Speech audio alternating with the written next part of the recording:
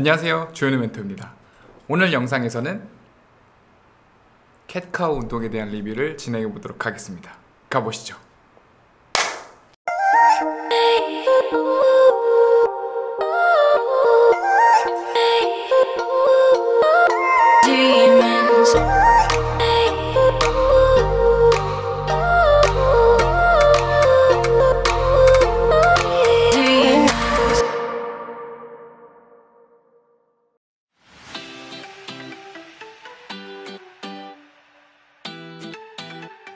내발기기 자세에서 정렬을 유지해 줍니다.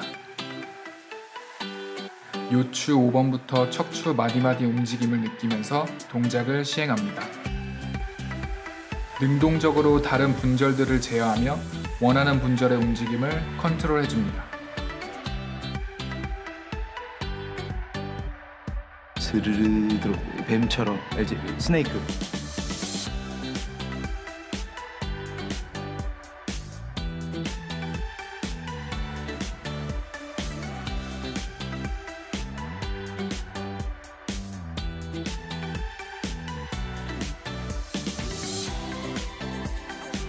어깨 정렬이 무너지거나 척추 분절이 통으로 움직이지 않게 주의합니다.